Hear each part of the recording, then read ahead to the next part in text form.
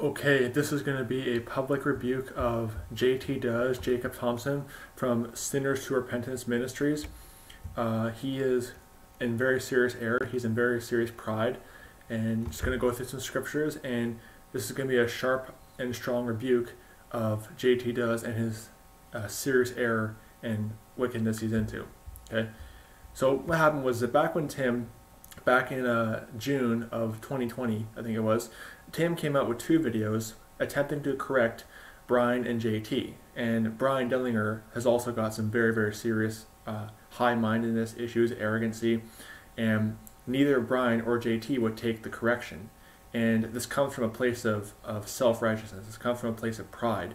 This thing of just not taking correction and just getting mad at correction and not receiving reproof.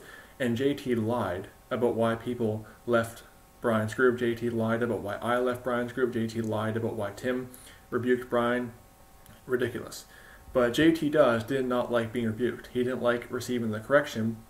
So all he can do is just try to say, well, Tim's condoning sin. Tim's condoning sin. And Brian lied about that too and saying, well, Tim, is he got offended, or whatever. Let's show this one here. What's with all the backstabbing and craziness with a brother that I have seen on live chats with you a lot? Uh, he got offended. That's the common lie. Nobody is condoning sin. People who break fellowship with Brian's cult, okay, we do it because Brian is just arrogant, high-minded, and just puffed up and prideful, and he won't take correction on anything. He just he's always right apparently, and if you don't agree with him or try to correct him, you're lost. Just that simple. This wicked devil named uh, Uriah1611, his YouTube channel name, he goes around calling people lost if they speak against Brian Dillinger he's a wicked devil. He needs to get saved. I don't believe that guy is saved. He, he could just be some troll or whatever, but he's a wicked devil. He called me lost because I, I just simply spoke against Brian, called me a Catholic or whatever. It's not one of their favorite tactics. They call you Roman Catholics or Jesuits if you speak against Brian. You see, cult leaders and cult members don't like it when you speak against their cult leader. That's simple. But JT does lied about Tim in the comments and said, "Oh, Tim is, you know, just loves this sin and wants to live in sin." And what the point of contention was was that Brian came out and was calling people lost over playing video games. Saved people struggle with sin. I get that. I understand that. But when you start to defend it and start to say, well, there's nothing wrong with it, the Holy Spirit doesn't convict me, that's because you don't have the Holy Spirit. You're lost. And of course, I don't play video games. I personally don't do it. I am not like this person where I just, I'm a video game addict or whatever. And I'm not trying to be self righteous or prideful by saying that. I'm just saying that I personally don't play video games. I just, they're just not of interest to me. However, my stance is that, you know, I think video games are a liberty if they are in moderation and they're clean. Like, obviously, I did a video rebuking Jack Smack 77 for playing Grand Theft Auto. I mean, Grand Theft Auto is not covered under liberty. It's full of uh, alcohol abuse, drug abuse, cussing, extreme violence, and graphic violence, and all kinds of pornographic images yeah, that's not liberty. But something like Pac-Man or Minecraft, yeah, I mean, I have a channel called Servant's Life. I, you know, upload occasional Minecraft gameplays. I don't do it that much anymore because I'm currently, I just got a new job where I'm, I'm on the night crew now, so obviously I'm very busy and very tired when I get back. But I, you know, think they're liberty if they're clean in moderation. And Tim, I, from what I understand, he plays video games too, and he also believes that you know if they're clean and in moderation, played in moderation, then they're liberty. Like something like Pac-Man or Mario Kart or Minecraft is nothing wrong with that, nothing sinful about that, nothing graphic or violent in those games. But JT does, and Brian, uh, they say, oh, oh, you know, you're, you're condoning sin if you don't agree with their stance on video games or whatever. And JT does also accuse me of loving my sin too because I broke fellowship with Brian. See, that's, that's the false argument. If you break fellowship with Brian, you love your sin. A wicked wickedness. But JT does is guilty of bearing false witness. Okay, he's a false accuser. Going to turn to some scriptures. Okay, got a lot of scripture I'm going to I'm going to read. Proverbs 12, 17. He that speaketh truth showeth forth righteousness, but a false witness deceit. Okay, JT does is being deceitful. He's lying about why people leave Brian's call. He's lying about Tim. He lied about myself. He's wicked. He's he's speaking deceit. Proverbs 14, 5. Turn there in the King James Bible if you have one. Proverbs 14:5. A faithful witness will not lie, but a false witness will utter lies. Okay? A faithful witness will understand, okay, the issue was never about, you know, condoning sin or that kind of stuff. The issue was, first of all, Brian calling people lost and, you know, his cult calling people lost based on sins of the flesh. Okay? This is exactly why Tim pointed out, correctly pointed out, this is exactly why Brian gets accused, and uh, and this group, Brian's little group of people he fellowships with, get accused of backloading works and teaching lordship salvation, and basically being self-righteous and teaching works salvation. Because they'll go to a sin, they'll say, okay, if you're you're in the sin, you're probably lost, or if you believe this way, you're probably lost. Okay, they don't have any grace for those who are on a different and lower level of sanctification. They just call you lost if you're in a certain sin. Like if you listen to rock music, then you're lost. You know, never mind of, of how how do you know the person is not just simply new in the faith, or like how do you know like like like you don't know where they are in the Christian walk. Okay, they could just be like like Tim pointed out in his video. They could just be a, just a newly saved Christian, like a babe in Christ, who just needs time to have that process of sanctification kick in. And I know Aaron Deering attacked me on that. I tried to say I was using sanctification to as like a license to sin. I don't use it as a license to sin.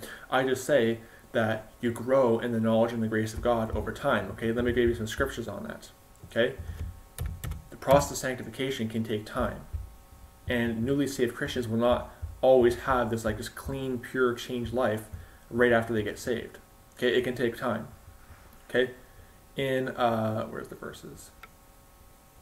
In Ephesians 4.15, 2 Peter 1, 5 to 8, uh, 2 Peter 3.18, 1 Peter 2, 2, Philippians 1, 6, 2 Thessalonians 1, 3, Titus two eleven to fourteen, Colossians 1, 9 to 10, and Colossians 2.19 all talk about growing in the knowledge of God, growing in the grace of God, growing in the faith, and that kind of stuff.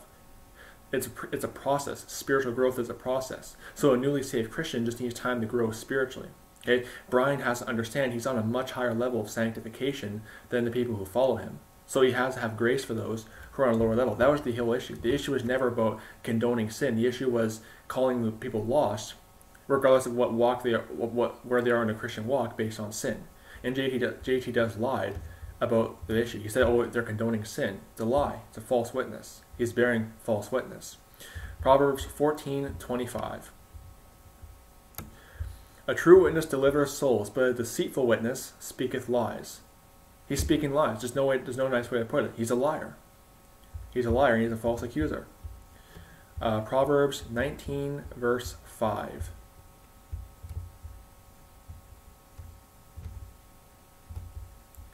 A false, a false witness shall not be unpunished, and he that speaketh lies shall not escape. Okay, I said this before. I said this to other people. I do pray for the chastening of the Lord to come upon JT if he does not repent. Okay, and I'll get into that later on. Okay, but a false witness will not be unpunished. Okay, JT does is could lose rewards over this. Brian could lose rewards over the way they've been acting. Okay, they've been acting very childish. The way Brian and JT have been acting, they do not deserve to be called elders. Okay, just the way they've been acting. Not to mention the fact that JT does. I mean, I'm, I'm 19 years old. Currently, at the moment, I'm 19 years old uh, as of December 27th, 2020. Okay, so I'm 19 years old, but um, JT does is only about one year old, one or two years older than I am. So he's not uh, an elder in any sense of the word. Okay, he's too young to be an elder. Okay, so I, like I don't know where all these young kids are coming from who think they're qualified to be an elder. It's ridiculous. Think they're qualified to teach at their age. He may know a lot of Bible, he may know a lot of scriptures, but a lot of the qualifications for an elder are based on your behavior, like an, um, like uh, not being greedy, filthy lucre, you know, not a brawler, not a striker, of good behavior, apt to teach, patient, you know, meekness, all that stuff. Okay, maybe not meekness. I, I, might be confusing it with the works of the flesh. Okay, see, I'm not perfect. I'm still infallible, and I'll admit to my faults. If I'm wrong, then I'm wrong. Okay, so I'm not prideful. I, I try my best not to be prideful. I try my best not to be, you know, I try my best to take correction. Okay, because I'm still young in the faith. I'm still green. I'm still new. I'm still learning things. Okay, you know. But when you stop taking correction, when you don't take correction, and to get to that later on, when you don't take correction, that's a big problem. Okay, but we're going to read a few more scriptures. Proverbs 19, verse uh, 9. Sorry, almost at 5. A false witness shall not be unpunished, and he that speaketh lies shall perish. Again, false witnesses will not go unpunished. They won't get away with it. Proverbs 21 28. A false witness shall perish, but a man that heareth speaketh constantly. Okay? A false witness will perish. They're not going to get away with lying. JT does will lose rewards over this. Okay?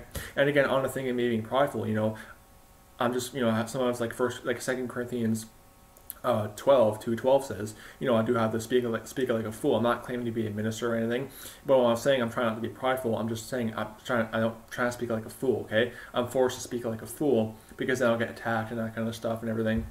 It's ridiculous. Proverbs 25, 18. Okay, sometimes you're forced to have to speak like a fool. Okay, I'll have to say like, you know, I'm trying my best. I'm trying my best.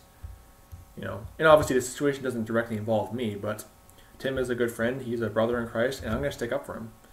Proverbs 25, 18. And it hits me hard too because, well, it's kind of personal for me as well because JT does attack me as well for leaving Brian's cult. So, uh, Proverbs 25, 18. A man that beareth false witness against his neighbor is a maul and a sword and a sharp arrow. Look at JT. He's very bitter and nasty. Very, very arrogant, very high minded. He's a maul and a sword and a sharp arrow. He's bearing false witness. Next point. JT Does did not want to take correction. Okay, when Tim tried to correct JT Does, JT Does didn't take it. Jacob Thompson, I think it's his whole name, Jacob Thompson did not take the correction. His pride got hurt. Okay, he's very high-minded and puffed up, and when he got rebuked, this is the problem with these younger kids getting into ministry. This is why I say, you know, this is why I say I'm not going to get into ministry until I'm in my 30s, if I do ever get into ministry.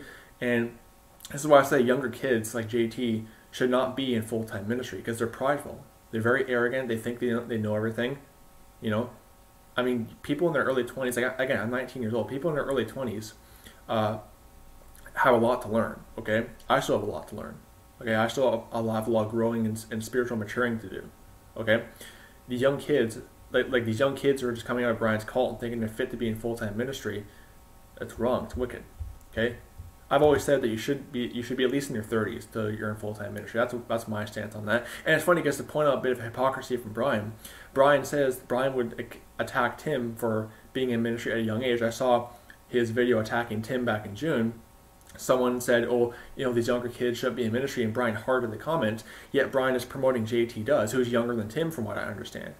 So wait a second. So Brian says it's wrong for people to be for young kids to get in the ministry, yet he promotes JT Does.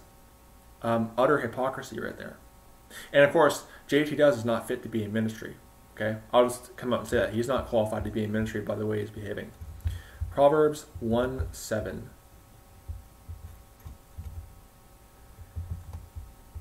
The fear of the Lord is the beginning of knowledge, but fools despise wisdom and instruction.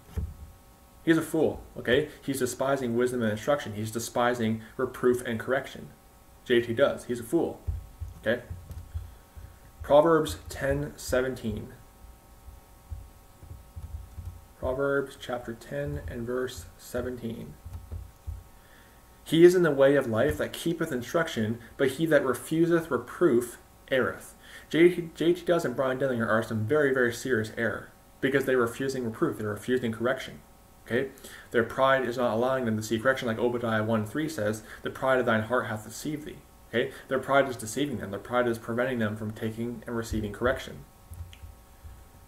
Uh, Proverbs chapter 12 and verse 1. Whoso loveth instruction loveth knowledge, but he that hateth reproof is brutish. Good description of JT does. He hates reproof. When you try to reprove him and correct him, he gets all mad. He gets very angry because his pride again got hurt. Proverbs 13 1.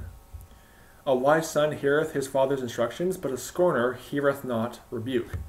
You see, JT does, he's a scorner. He's constantly scorning Tim and that kind of stuff. He's not hearing the rebuke. Because again, it comes down to pride. He, his pride got hurt. JT does, or sorry, Proverbs 15, verses 10 and 12. Messed up right there. See, again, I'm, I'm still fallible, and I'll admit to being fallible. Okay? I'll admit that I'm far from perfect. Uh, Proverbs verses chapter 15 verses 10 and 12. Correction is grievous unto him that forsaketh the way, and he that hateth reproof shall die. Okay? Could be chastening coming. If JT does does not repent of his pride and does not take the reproof and correction, I pray for God's chastening to come upon him. Verse 11 Hell and destruction are before the Lord, how much more than the hearts of, of the children of men? Verse 12 A scorner loveth not one that reproveth him, neither will he go unto the wise. Okay? JT Does has a lot of hatred for Timothy Conant, for brother Tim Conant. He calls him a false prophet and all this other stuff. It's wicked. He does not want because he didn't want to take the reproof and correction. Because again, it hurt his his uh, high-mindedness. Proverbs 15:32. Going to be covering a lot more scriptures. Proverbs 15:32. He that refuseth reproof despiseth his own soul, but he that heareth reproof getteth understanding. JT does. He's he's despising his own soul. Okay, he's going down a very dark path. Same thing with Brian Dillinger because they they're despising reproof and instruction. They're not taking the correction. Okay. The final point I want to bring up is that the pride of JT, the high-mindedness, the the just arrogancy, it's wicked. JT does need to repent of his pride. He needs to seriously repent of his pride. Okay. Proverbs 11 verse 2. Turn there in the King James Bibles. Proverbs chapter 11 and verse number 2. When pride cometh, then cometh shame, but with the lowly is wisdom. Shame on JT does for his pride. I'll just put it out there. It's wicked. Proverbs 13 and verse 10. Only by pride cometh contention, but with the well advised is wisdom. JT does is very contentious because he's prideful. That's why. It all comes back to pride. See, pride is one of the most is the worst sin out there, pretty much. One of the worst sins out there, because pride is what keeps a lost man from getting saved. Pride is what keeps a uh, saved man from hearing correction and instruction, like JT does and Brian Dillinger. Proverbs 14 and verse 3. The mouth of the foolish is a rod of pride, but the lips of the wise shall preserve them. JT does just goes out and runs his mouth against him. His mouth is foolish. The mouth of the foolish is a rod of pride. His mouth is foolish and a rod of pride. Just that simple. Proverbs 16:18.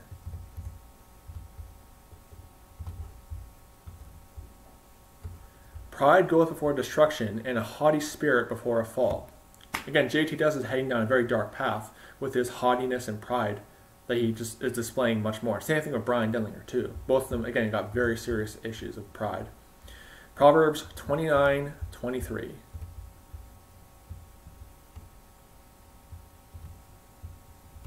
Twenty-three. A man's pride shall bring him low, but honor shall uphold the humble in spirit. You know, his pride is going to bring him low. His pride is going to lead to serious problems and serious chastening of the Lord. Okay? So to conclude this, okay? JT does, may the Lord Jesus Christ rebuke you, and may he rebuke your lies, your false witnesses against brethren who just simply disagree with Brian, and your lies, your false acu- your false accusations, your just high-mindedness, okay? It's wicked. Okay? And let me just say this right now. If you don't repent of your pride, I pray that the Lord Jesus Christ, our Heavenly Father, the Lord Jesus Christ, I pray He brings a very serious and severe chastening upon you, JT does. Okay? I pray He brings a severe, serious chastening upon you until your pride and high mindedness and arrogancy is broken. Okay? I pray that. Okay? I pray you repent. I pray I really do. You need to repent of your pride. Okay? May the Lord Jesus Christ rebuke you. Okay? You need to repent. And again, if you do not repent, I pray the Lord Jesus Christ brings a severe chastening upon you. So, anyway, may the grace of our Lord Jesus Christ be with all the brethren. May the Lord Jesus Christ rebuke you, JT. And I pray you get right with God before it's too late. May the grace of our Lord Jesus Christ be with all the brethren. Goodbye.